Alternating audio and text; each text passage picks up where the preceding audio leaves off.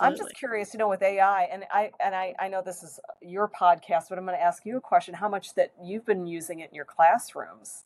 Yes, that's a great question. Uh, with Grand Canyon University, they've taken the approach of not policing it, but uh, Okay, I was wondering. incorporating it. Right. Yeah, and and so um, they just revised the uh, master's program in instructional design, and so they've got a couple of competencies that are AI focused, Are they really okay? great. And then they revised all of the courses that I teach, and so um, I'm teaching a course right now. It's called Organizational workplace and performance improvement. And so it's Oh, all cool. about OKRs and all those different things. But it's really great because they've got an assignment coming up in, I think it's topic five. They've got an assignment coming up where they have to, uh, they have some case studies and they have to use, utilize AI technology to kind of have that back and forth conversation with the tool and get some outputs and it's to help them build an e-learning module so it's really interesting and i'm like ooh Well, that this is is cool And yes graded on their prompt engineering, or how they, you know, critically think through the process, or is it just on the end result? Yeah, Okay. it's kind of on the end result, but they are supposed to give screenshots or Okay. um or something like that. They can either do screenshots or do uh, like a copy paste into a Word document of the conversation that they had with AI and some of what their prompts were and things like that and how they went, did that back and forth. So it's pretty cool.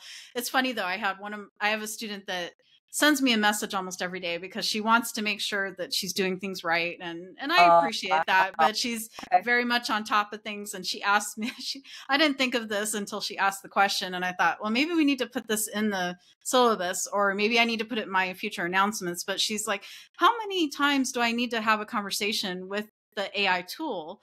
How much are you expecting with that? And i said there's really no number. It's just how however much you think you need to do of back and forth to where you get that result that you're looking for that can help you inform your e-learning module. So i said there's no there's no real number around it because i've used ai in my profession in start and as an instructional designer and i've noticed that sometimes the ai tool gets me the the first draft of what i'm looking for and kind of in that that realm within a few prompts and then sometimes i have to probe it more and i'm like "Hmm, no that's not what i'm looking for. Can no this is you know cu- sounds like kind of subject matter experts. yeah Same exactly thing, right? yeah, it's a, it's kind of that virtual assistant where I'm like, eh, no, you're not quite there. Can you adjust this a little bit? Or, Right. uh, yeah, because I noticed that uh, the AI tools they love bullets and lists, and so unfortunately, our system doesn't allow multi-level lists. So we're trying to figure out how can we train the AI Yeah, model, our the internal AI language, model. Yeah, LLM. Yeah, yeah, yeah, not to do that. really yeah, interesting. Yeah, and you know, right. and speaking of mistakes, I mean, I've made mistakes with AI too. I mean, I've had things hallucinate, and I've had to really check very closely. And that's one area that I really, I'm, I'm looking forward to seeing more development for those of us in this profession, instructional designers, anybody who's involved with developing, learning, uh, that type of thing. You know, really getting comfortable with utilizing the the technology in the way it should be. And I don't want to lose sight of critical thinking. I'm always concerned about that too. Um, you know, uh, just like anything else, our our critical thinking is a muscle. We need to keep exercising it.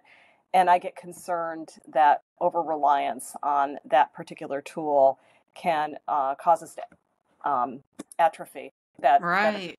So you know I I'm I'm encouraged when I hear people like you that you're really you know fostering that critical thinking piece